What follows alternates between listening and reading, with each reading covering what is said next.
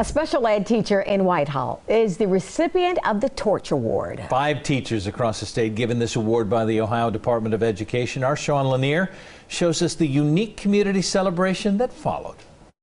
For an award of this magnitude, there would usually be some kind of assembly with students and staff members packed inside of an auditorium, but that didn't happen. So they celebrated the best way they could while keeping a safe social distance. Patrice, I want to um, let you know that you are one of our five torch recipients. It started on this Zoom conference. We're really proud of you.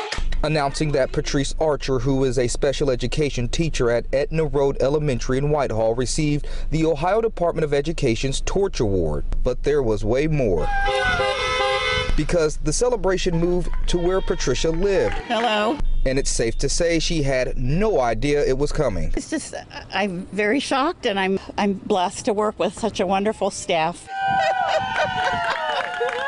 People drove and walked to congratulate her while keeping a safe distance. And it's so hard not being able to go up and touch people and hug people right now. I would love to give everybody here a big hug. TORCH stands for Teachers of Ohio Representing Character and Heart. It's those reasons Principal Jessica Moore says she nominated Patrice. She's part of people's family. It's not just, she's not just a teacher. A teacher who has touched the lives of so many for nearly 31 years, and now they're saying thanks to her. My heart is bursting because I just, I've never had an honor like this, and I'm just, I love working with the kids, and uh, this is my passion. And the teacher is still reaching out to the students during this pandemic to make sure they and their families are doing okay. Local for you in Whitehall, Sean Lanier, NBC4.